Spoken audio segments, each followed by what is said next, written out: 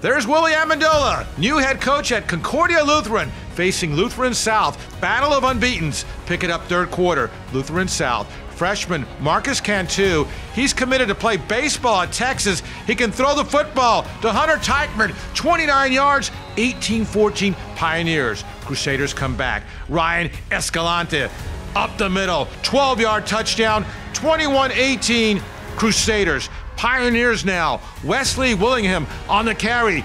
Great move. Long run. Finally brought out of bounds at the 10. They got a field goal. It'll be Wade Lavernier who will set up for a 21 yard field goal to tie the game with 132 to go at 21. Now, 15 seconds remaining, tied at 21. Ludin Sabri scrambles on the run to Reese Kucher, and he makes the catch for the game winning touchdown. Wow, what a finish!